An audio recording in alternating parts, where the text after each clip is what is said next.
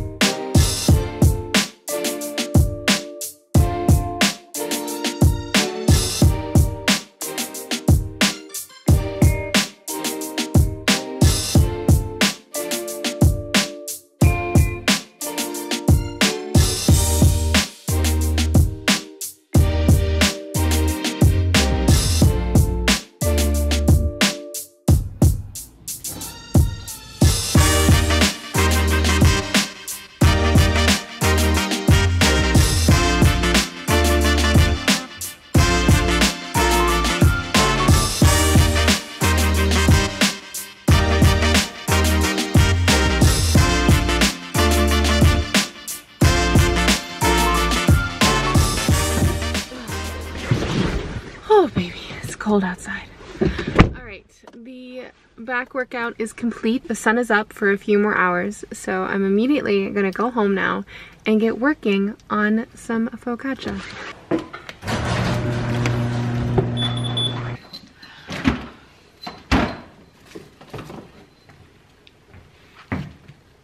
Bread. I knew I was going to film this, well technically, if I'm being brutally honest, I was going to film another meal prep video yesterday, but they take so much time and preparation and everything that I just wasn't gonna get it done in time. So I was like, the second best thing I could do is film a full day of eating, as you can see from the title. And the next thing we're gonna work on is lunch, even though it's only 10 o'clock in the morning. I have some focaccia here that is my favorite recipe ever. It's from Bon Appetit. It's the no knead focaccia. It's so fail proof and so delicious. You can't switch it out. You gotta use white flour.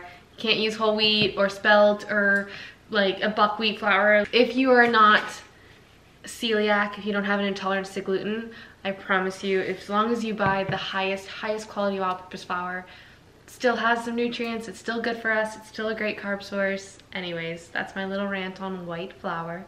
So this focaccia I made yesterday and it was super easy. Honey and yeast into a bowl with some hot water and let the yeast bloom for five minutes. You'll start to see like active bubbles like popping by themselves. And then um, after that five minutes, you add in five cups of flour and a tablespoon of salt and stir that and it resembles what the website calls it the recipe calls it as a shaggy dough mixture. So that means it doesn't like clump up in a ball. It kind of i mean it does definitely become a ball but it's kind of like um, loose and raggedy kind of like a raggedy blanket or something like or towel like it's been kind of broken apart. And then drench it in olive oil as I did and I left it in the fridge because you know I wasn't gonna do this till today. It says you know up to eight hours to a day I'm gonna let it sit for like a minute or two while I set up over by the sunlight to finish this because the olive oil is now a little bit hardened because it was in the fridge so we want the olive oil to kind of like loosen up a little bit. So all you gotta do is turn it. You'll pick up each side and then fold it on itself into the center and do that four times. So you're gonna do it a quarter turn every single way and kind of fold it. And then we're gonna transfer it to a pan to let it rise again. This is the pan I'm baking it in and it's gonna rise again for another hour. So if I want it to be ready in about like two hours or so to eat, um, I'm gonna work on it now so that it's ready by then and it's going to smell absolutely amazing. What I love about focaccia is you can totally just customize it. You'll see I'm gonna put rosemary and olives my favorite olives ever. I've seen people try to do like little, like I even saw a TikTok, it was so cute. I'll put it up here of a Winnie the Pooh focaccia. So he made Winnie the Pooh out of different colored bell peppers. It was adorable. You can make all types of focaccia. Thank you for calling Midwest Photo Exchange. I was there Thursday evening and I put a camera on hold. I believe it was the Olympus Infinity, the film camera. And I am coming in today to pick it up. So I just wanted to, I know it was over 24 hours. So I was just hoping it's still there. Okay, perfect. Thank you so much. Have a good day. So I got ready and something I've been doing terribly, terribly since I've been back. That's all my stuff right there. Ignore that. From Italy, something I've been so bad about is dressing up and presenting myself every day. So I did that a ton when I was in Italy. I remember I would come home after the gym and then I'd have this window in between post gym and then lunch because I'd work all morning, finally go to the gym, and then I'd come home from the gym and I'd always change and put on, not always makeup, but at least I put jeans on or some nice pants or some kind of outfit to look presentable. Because you'll find if you go to Europe, a lot of the countries, um, definitely just especially Italy and a lot of the Mediterranean countries, don't really go out in leggings or workout clothes or anything like that. They look presentable. And so that's something I've been so terrible at. I've been spending a lot of time in leggings all day because I'm not going anywhere. And this weather, this atmosphere just doesn't, it just makes me want to not try because it's just so much more acceptable too to, you know, run around in your workout outfits. I didn't really want to, but I threw on an outfit. I'm actually probably going to change this outfit. This is the cutest sweater. I actually found it at uh, TJ Maxx. It is stunning. I love this sweater. And then this is a dress that Fabletics sent me and I'm not sponsored to say this or anything um, on here. It's definitely spring and summertime. I threw on this sweater over top because obviously it's like spaghetti strap. Um, if I'm gonna eat today, which obviously I am, it's definitely very tight. Like I'm flexing and sucking it in right now. Not flex, not sucking it in flexed sucking it in. So even though this dress is adorable and this sweater is the cutest thing ever, um, I'm probably going to change back into my workout sweatshirt that I have right here and some jeans because I'm about to get in the kitchen right now and you guys know me, I'm like a mess. I'm a bull in a china shop, so I'm going to get this stained for sure. And then I want to feel a little bit more comfortable than this dress. But I'm glad I tried it on It's so cute. So I also really want to go make a latte. I have some sweet potato peanut butter brownies. Technically just super fudgy peanut butter brownies. The secret ingredient was sweet potato because um, I had some extra left over from the sweet potato what is that called? The sweet potato, barley, and lentil cakes that I made a couple like last week. So I had leftover sweet potato that was cooked. So I made brownies out of it yesterday. Experimental recipe. We're about to go cut into them because I'm about to lose all sunlight here soon and I want to do a final cut in the sunlight. That's the plan. But first I need to change because I don't want to flex my core all day. I'd like to like breathe today. Coffee time. This is the most ratchet latte making you'll ever see. I wish I had a coffee machine. I'm the only person in this house that drinks coffee. I'm not gonna invest in that right now because I can't even make cute coffee videos. We're working with what we got. My moka pot is in the mail, it's coming. I can't find my old one for some reason. So I'm taking my favorite company ever, which is Chameleon. I love their cold brew. It's amazing, but I'm not keeping it cold, which if you're a coffee fanatic, which I'm sure I have a few that are watching that are obsessed with coffee, like I am, I'm aware. I'm aware that this is sinful. But I'm about to pop the cold brew into the microwave, which you could say could burn it, or um, just make it taste really bad, or that's not the point of cold brew. Cold brew is supposed to be cold. I know, I know all these things. But I want a hot latte, and this is what I got. Next, I'm going in with oat milk because it's my favorite milk. There's been a lot of heat about Oatly lately and just any oat milk in general or nut milk in general that has rapeseed oil or just oils in general. Oatly's froth is like unmatched to almost any other oat milk I've ever had. And that's my favorite part of making a latte is the frothiness. I'm so sick of like people being on health, being in the health and wellness industry, my industry, whatever, and just demonizing every little thing. Like, for the love of God, like, if you want a cup of oat milk a day and it happens to have a little bit of this rant, like less than 2% of this oil, what are, what are we freaking out about? Why? Like, until the research really comes out that it's going to like kill us or lead to cancer or whatever, but it's just people will demonize every little thing in the health and health and wellness industry until the end of time. And it's like, let people have there are things, nothing is gonna be 100% perfect. 80-20, Mediterranean lifestyle. You, we know this. My mom is so cute. Yesterday, my mom, because I was not feeling well yesterday, my mom, oh my God, this is how my mom's brain works. So I came home yesterday after like a few client meetings and stuff, and she said, I got you some treats. Oops. She's like, I got you some treats. I got you one for your um, physical health and one for your mental health. Someone, some scientists will say like this counter and nutritionists will say this counteracts this and what's the point of it all? Like, stop overthinking it. If you want a wellness shot, eat a wellness shot. If you want a Reese's, eat a Reese's, drink a wellness shot. Um, if you want to drink oat milk and eat cheese in two hours, who cares? Why, why do we make it such a big deal? All right, that's my rant for the vlog. Or, yeah, hopefully. Anyways, um, I'm going to froth the milk.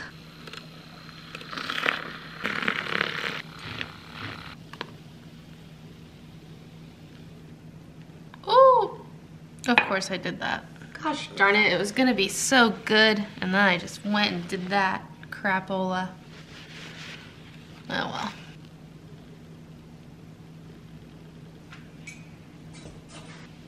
Cheers. So if you can tell, I've kind of been a little bit stressed out since the moment I've started this vlog. I've kind of been rushing and talking, talking very quickly, but I just had a little check with myself.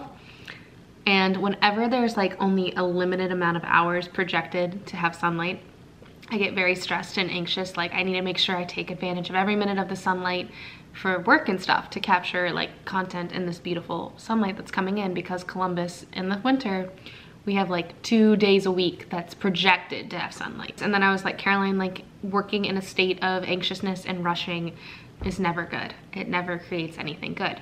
So I'm just gonna take 10 minutes to breathe, realign myself, like stop rushing, stop moving constantly to the next thing, and just remind myself to keep looking at apartments other places than Columbus because I can't live like this. I'm so dramatic and it's such first world problems, such first world problems. But huge thing from the Mediterranean lifestyle is they're usually not in a rush, unless they're driving. When they're driving, they're in a rush. Other than that, life is not rushed. so I'm gonna sit with my coffee and not ruin this moment with one of my favorite things in the whole world. And then we'll get back to, honestly, and then it'll be time to start prepping some more food for lunch. And then we're running errands this afternoon, because you heard that I got on the phone. I'm gonna go get a film camera.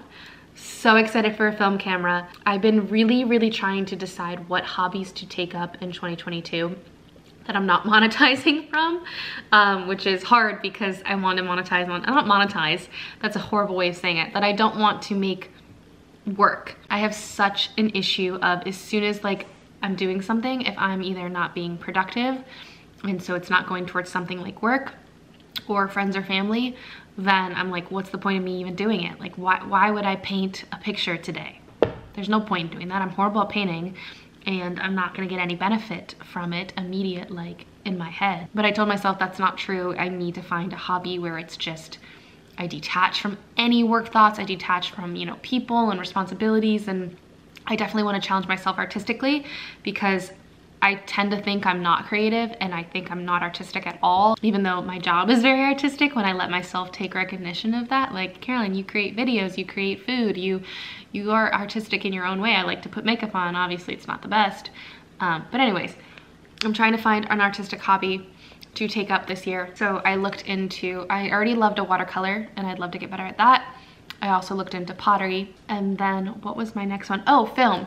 So I do love photography and videography and something I love so much about film cameras because obviously they're so popular right now so this is like you know I'm being very basic going to get a film camera the thing about film cameras that I love is you could easily throw on a filter to any of your photos and pretend it's film like you could put on a film filter so why would I spend about $180 on the camera itself for it to easily break because it's from the 90s and then spend, you know, $30 to develop all that film. But I love it so much because I am such an anxious person that I will take, look at my camera roll. It's disgusting. I need to clean out my camera roll so bad. There's probably 20,000 photos there, maybe more. And just in the past like four years. I just am so, I take hundreds and hundreds of pictures and everything. I think it's gonna be perfect. It needs to be perfect. I get mad at myself. Um, I overthink it. I edit it right away. I have to look at the photos right away. But how beautiful is it that you had one shot to get this photo? And there's a chance, a big chance it's gonna come out blurry too. Not even on your fault, it's just the camera's fault. So you have one shot to take this photo it easily could be blurry and you don't get to see it for however long it takes for you to develop the whole entire film. So I love that because it's then it's gonna be a surprise like, oh, I took that shot there, I did that there, and it's just like, it's bringing it back to very, like it's making me very present with that photo and puts more special, it makes the photo so much more special in my mind, which makes it more, very more artistic than just, here's a hundred photos of me in front of um, the Coliseum or something like that. Anyways, that's my little coffee chit chat. We're halfway through. I'm gonna enjoy this in silence. Just kidding, I'm gonna go get my phone. and then we'll move on to creating more food content.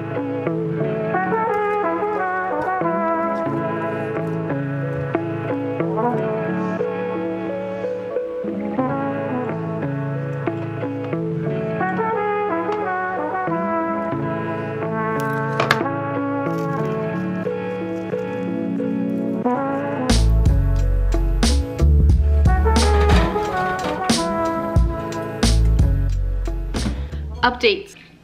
I'm chugging water because I just ate the fudgiest, or at least mm, a good handful of bites of the fudgiest brownies I've ever made in my life. I think they're good. Do they taste healthy? Absolutely. But I think they taste super fudgy. I'm gonna give them to my brother to taste test. This afternoon, I'm gonna drop off some of the food that I made today. So I think they definitely taste healthy, but they're still good. And I wanna eat more, but I just popped the focaccia popped. I just placed the focaccia in the oven. That's gonna take about 20 minutes. So I'm gonna get started on lunch because I wanna eat that bread warm out of the oven. So let me pull up my hair. So like I said, I was gonna meal prep, um, do another meal prep recipe video, but I just felt like I didn't have enough time to dedicate to it because as I've mentioned before, they take like three, like two or three days of prep work and they take like four hours to film the day of and it's just it's just a lot of work. And you know what? I didn't want to and i just couldn't. But what we're about to make is a lot of what i was going to meal prep which is the focaccia. And then with that focaccia i was planning to meal prep which i have ready some lamb burgers so i prepped the lamb burgers yesterday. And i know what you're thinking Caroline, red meat for meal prep. I thought we weren't supposed to eat red meat like several times a week. I thought we were supposed to have it like once a week, maybe twice at most. And that is kind of true. I definitely, when I was in Italy, they didn't eat that much red meat at all. The reason why I specifically chose lamb is one, because a variation of nutrients we get ground beef in so many ways so you want to switch up like i always mention all the different types of nutrients that you could be eating but also because lamb is so naturally high in fat it is so contains so much moisture when you reheat it once we cook off the burgers and they cool completely throwing them in the freezer it's actually a great idea for maybe next week or the week after that when you are really, you know, searching for a protein source to add in somewhere. When you reheat them in the oven, you just put them in some foil and reheat them. They contain a ton of moisture. At least that's what I've experienced. I could be totally wrong. I mean, you could have had different experiences. That's what I've experienced with my own cooking. And then the lamb burgers can also be uh, on top of like nourish bowls because you guys know that's just like a staple type of meal that I always resort, uh, resort back to. There's so many great sources of pita out there if you wanted to pick up pita and throw on some like yogurt sauce, like make a simple Greek salad with tomatoes, cucumbers, and feta and then top that on top of the patties. You can make like a pita sandwich. Today we're making a focaccia sandwich. You can make a rice bowl like hummus, tzatziki, lamb burgers, veggies, that kind of thing, or a grain bowl, couscous, use tabbouleh, and then like store-bought, a lot of that you can buy store-bought, and then you have like the most expensive thing usually, which is the protein already prepped at home. We're gonna cook off the lamb burgers, cook off some red onions and some red wine because I had a ton of caramelized onions while I was living in Italy. My aunt made them like every other week for like a caramelized onion pizza. It was so delicious. So I was on a little caramelized onion kick while I was living in Italy. So I want to recreate that with some caramelized onions. We're to whip up some goat cheese, aka just add like some salt, pepper, honey, some more little tiny flavors, lemon, a lot of lemon to make it a more, you know, delicious kind of spread.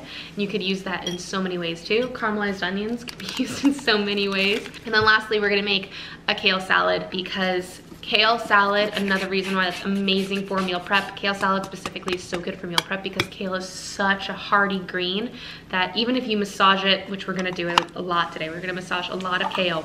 Um, even if you massage it way down, it'll last two or three days in the fridge. It doesn't go bad very quickly like, you know, uh, spinach could get slimy the next day or arugula, such a delicate, delicate leaf, but kale is not delicate. He's, he's a hardy one. Kale can last for meal prep, which is so nice if you just really just want a salad or you're craving some kind of greens. So we're gonna make a super kale, simple kale salad with the roasted garlic tahini vinaigrette that I have, um, that I made on TikTok. Sorry if I always reference TikTok, I just try to keep track of where I have all my different recipes that I've showcased. It's so easy. It's using that roasted garlic from that one meal prep video that I made um, a few weeks ago. So anyways, that was a lot of rambling. I'm just gonna get into the kitchen now.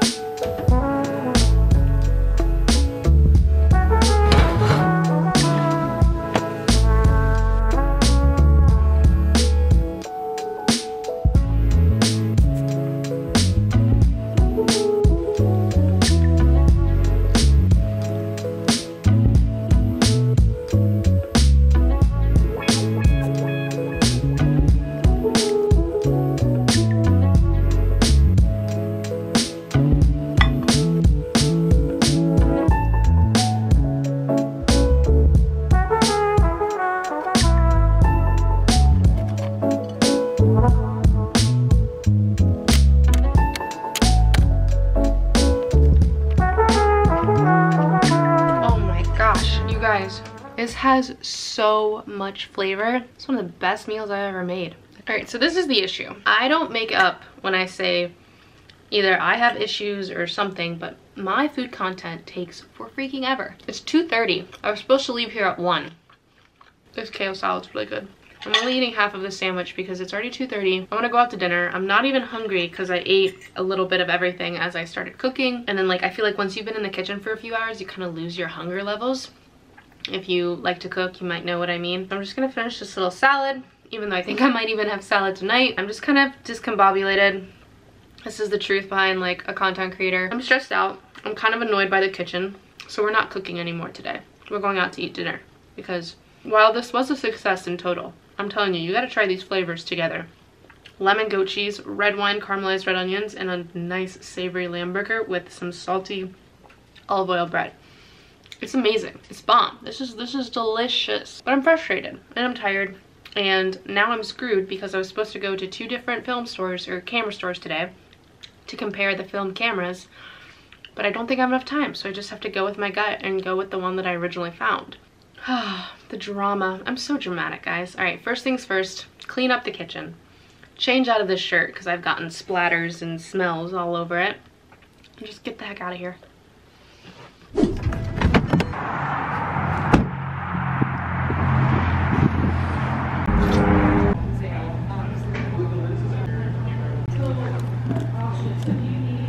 But you're gonna open it. Okay. And then you just pop the film in like that. And then you're gonna give it a little bit more of a lead. You can even see there's a little diagram in there. But yeah. Thank you. Have yeah, a great night. Thanks, All right, so successfully secured a film camera. I'm so excited about it. I've overthought this so much that it was just finally time to get it. Uh, sun is set and we are off to dinner.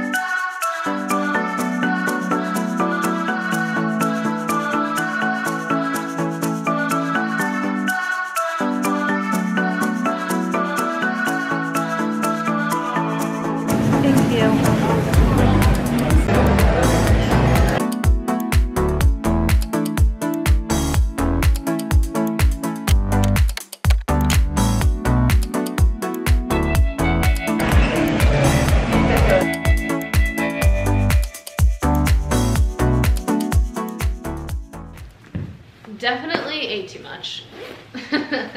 I didn't eat too much. I just feel very full. I've had two glasses of wine today. I'm back in my Italian mood. But anyways, we just got home. Um, my hair has transitioned so many different ways today. I think I'm gonna wash my face and watch a movie. Saturday night. This is my life right now. I'm super cool, I swear.